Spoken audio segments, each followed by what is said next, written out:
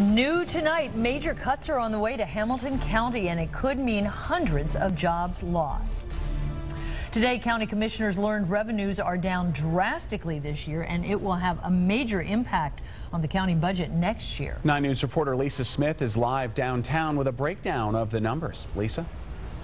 Well, Brendan, this is the memo that went out to Hamilton County Commissioners earlier today. It is the 2013 preliminary forecast budget, and it says that the county will need to slash about $20 million from the general fund next year in order to break even. Now, since about 70% of that general fund is jobs, this could possibly mean a reduction of about 300 county employees. Now, reducing the budget by another $20 million comes after cuts of $80 million by county commissioners over the last four years.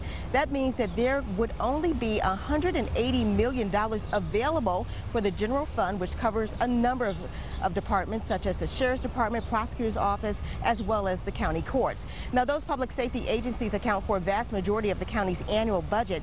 We talked to County Commissioner Greg Hartmann this afternoon, and he says that critical services will remain but the public will notice the difference.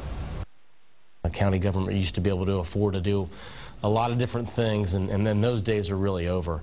Uh, we're not going to fix this problem by raising taxes, and so that means we got to make, uh, you know, you, you, either raise revenue or, or you cut expenditures. Now, there are several reasons for these cuts being necessary. One is there is less funding coming in from the state. Another is the drop in property taxes.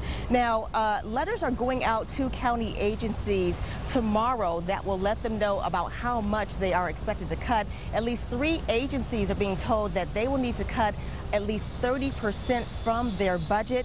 Meanwhile, this is just the beginning of what will be a long budget process. Lisa Smith, 9 News, live downtown.